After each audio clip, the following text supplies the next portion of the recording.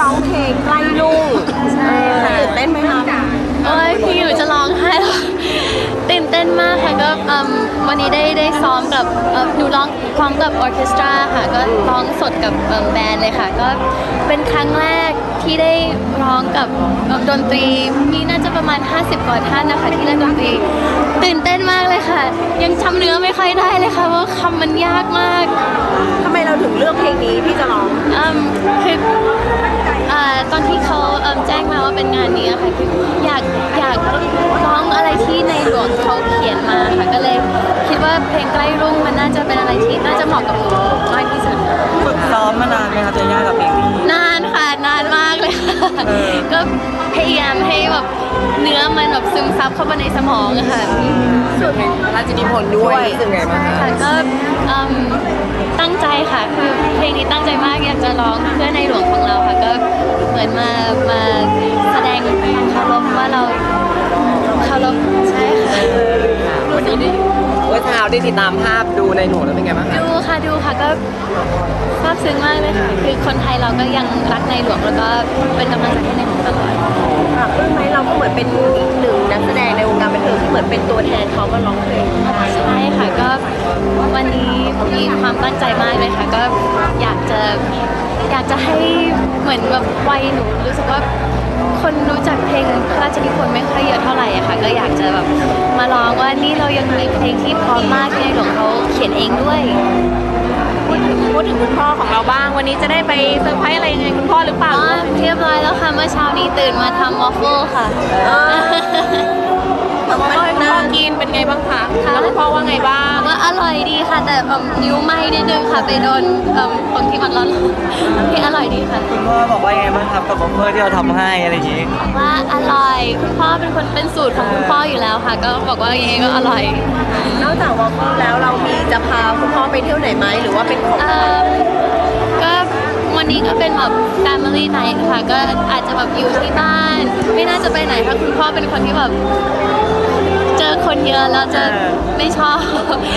ก็น่าจะอยู่ที่บ้านค่ะคืนนี้น่าจะแบบนั่งชิลๆกันพ่อของลูกสาวไหมคะคุณพ่อห่วงห่วงห่วงแน่นอนไหมค่ะคะดูไหมไม่ดุค่ะไม่ดุคือคนที่ดุที่สุดในบ้านคือคุณแม่คุณพ่อจะตามใจ แต่แม่ดูนิ่งๆอยู่อะ นั่นแหละค่ะ ยิ่งนิ่งยิ่งน่ากลัวค่ะ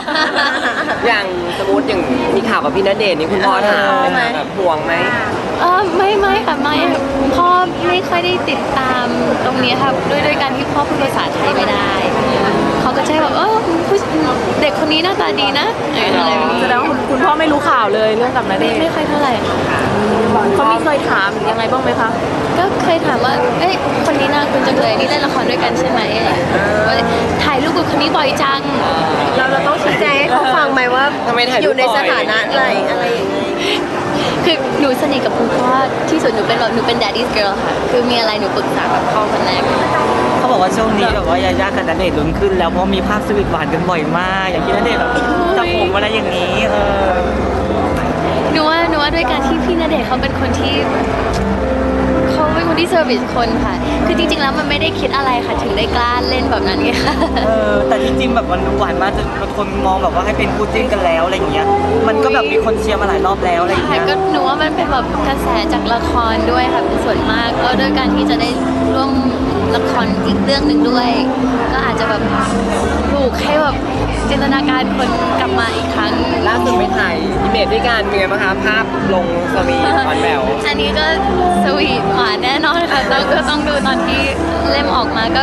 ด้วยด้วยการที่บาหลีมันเป็นคนคนประเทศที่ค่อนข้างโรแมนติก ก็อาจจะแบบดูหวานหวานๆนิดนึงค่ะสวีทไหมคะนอกจอโหแกล้งกันนุ้แยังไงบ้างร้อนใช่ไหมคะเหงื่อเยอะ กลิ่นก็ไม่ค่อยหอมเท่าไหร่ยังมันจับจักรแลยังมันนู่นนี่นั่นหนูเอาจักรแลมันจ่อจ่อหน้าหนูอะไรอย่างเงี้ยค่ะ ตอนนี้ยังจะลุ้นขึ้นอีกไหมตอนนี้จะลุ้นขึ้นอีกไหมคือหนูกับพี่ณเดชน์เป็นกัลยาณมิตรที่ดีต่อกันแต่ในภาพนี่เหมือนว่าณเดชน์บอกว่าจะทำให้ยาย่าคนเดียวนะที่แบบวนหวานๆอะไรแบบเนี้ย หนูว่าเพราะพี่เขาเจอแต่หนูมากกว่า เออ เจอหนูบ่อยสุดแล้วแล้วเรื่องคู่จิ้นกับนาเดชน์นี่ได้บอกคุณพ่อไหมคะ พ่อไม่เคยถามอะ แต่แต่แต่พ่อก็คงแบบเข้าใจว่ามันเป็นแบบข่าว เจ๊ย่าเป็นคนแบบได้บอกเราว่าเราเป็นคู่จิ้นแห่งชานเลยจิ้นแบบจิ้นกันแล้วตลอดเลยที่เห็นมีบ้างอะไรที่ทำให้คนดูแบบแฟนๆทุกคนมีความสุขหนูก็โอเคค่ะโอเค